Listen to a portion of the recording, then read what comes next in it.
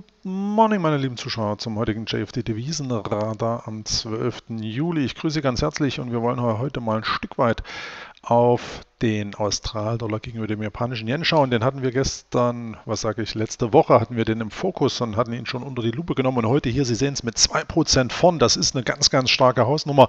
Ähm, gestern auch schon starke Aufschläge gesehen. Ähm, heute schauen wir mal hier rein. Es gab Daten aus Australien, es gab Daten aus Japan, aber insbesondere, man mutmaßt hier Intervention seitens der Bank of Japan, denn die massive Yen Abwertung hat hier natürlich jetzt die Folge, dass der Markt ähm, ein Stück weit jetzt hier wieder nach oben dreht, also die Abwertung der letzten zwei Tage. Zuvor gab es ja eben hier, wenn wir gerade auf den Wochenchart schauen, eine enorme Aufwertung des japanischen Yens. Bei allen Paaren, die in Yen gehandelt werden, haben wir eine ähnliche Konstellation, dass es hier praktisch ähm, während der letzten, das hier ist der Wochenchart zum Australdollar Yen, während der letzten Jahre, insbesondere dann mit Beginn 2015, 2016 hier radikal nach unten ging. Und genau diese Situation wurde hier von der Bank of Japan natürlich ähm, jetzt zunächst immer verbal, dann auch aktiv, immer mit Interventionen versehen. Und aktuell sehen wir eben auch hier die jetzige Handelswoche, dass die sicherlich einige Einflussfaktoren aus Fernost hier dazu führen, dass neben den Konjunkturdaten, die heute positiv aufgenommen wurden, ähm, auch hier natürlich der Impuls dessen ist, dass hier die Bank of Japan den massiven ähm, Druck des Jens hier sozusagen äh, rausnehmen will. Und interessant hierbei, und das hatten wir in der letzten Woche eben lokalisiert, schauen Sie sich das an, hier diese Support-Level bei 74, 75 Yen etwa, Schrägstrich hier diese Spike-Level im Bereich von 72, 75. Genau hier wurde es eben so ähm, abgearbeitet vom Markt, dass es hier zu einer Stabilisierung kam und jetzt in der laufenden Handelswoche eben hier ein schöner Erholungsimpuls. Wie bereits auch in der letzten Sendung erwähnt, haben wir knapp unter der 80 Yen-Marke einen Widerstandsbereich und dieser blaue Pfeil ist unverändert zur Analyse von zuletzt, nämlich hier mit dem Chancen, dass wir hier noch ein Stück weit nach oben streben, aber dann im Bereich um 80 Yen hier möglicherweise nach unten drehen. Mein Seasonal Indicator hat es leider jetzt irgendwie erwischt, deswegen kann ich Ihnen das leider nicht zeigen. Ist aber halb so schlimm. Wir werden das ähm, nachholen. Sie wissen aber von der Saisonalität her hat der Australdollar gegenüber dem japanischen Yen, beziehungsweise alle Paare, die in Yen gehandelt werden, während der kommenden Wochen eher eine stürmische See voraus.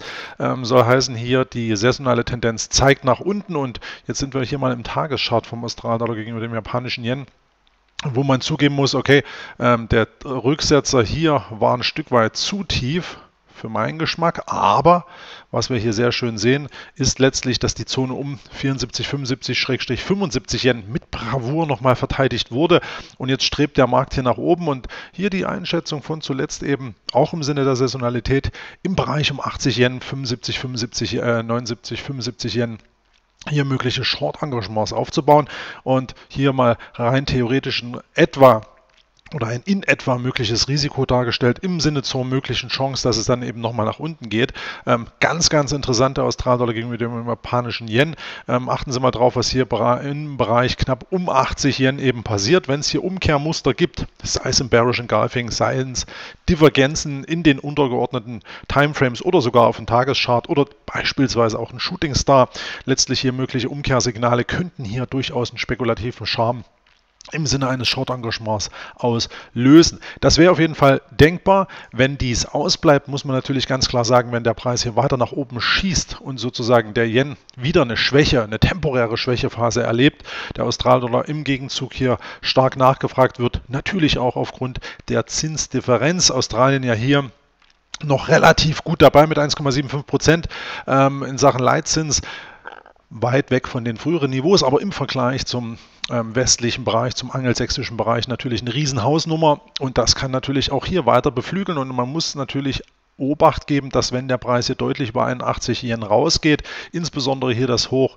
vom 23. Juni bei 81, 57, 58 rausnehmen sollte, dann ist die Gefahr auf jeden Fall für mögliche Shorties gegeben, dass der Preis auch weiter nach oben rauf ziehen kann und dann werden hier durchaus Niveaus im Bereich von ja, knapp 86 Yen möglich. Und da muss man sich natürlich absichern. Soll heißen, gehen Sie hier nicht unnötiges Risiko ein, um das mal kurz zu versinnbildlichen, wenn Sie beispielsweise den Stopp hier irgendwo hier oben hinsetzen, ja, nach dem Motto, ja, Worst Case wird schon nichts passieren, dann mag das hin und wieder klappen, aber Tatsache ist im Verhältnis des möglichen Potenzials aus Sachen der Chance, Sie sehen es ja hier, rund 6%.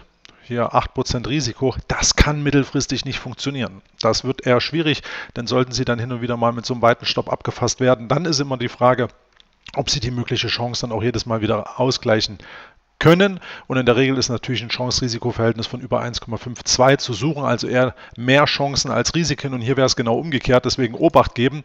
Ähm, rein technisch sollte der Stopp hier auf jeden Fall ähm, im Bereich von 81, 57, 81, 60 liegen. Man kann auch noch ein paar Pips drauflegen, gar keine Frage, aber auf keinen Fall so überdimensioniert nach oben ziehen. Das verschlechtert äh, rein unter Money Management Gesichtspunkten natürlich enorm das mögliche Potenzial eines guten Trades und da muss man natürlich immer Obacht geben. Aber Zurück zum Thema, der Chart ist heiß. Es könnte sich auch morgen oder auch während der nächsten Tage hier durchaus nochmals, wie gesagt, eine steigende Performance ergeben. Das sieht, sieht sehr, sehr gut aus.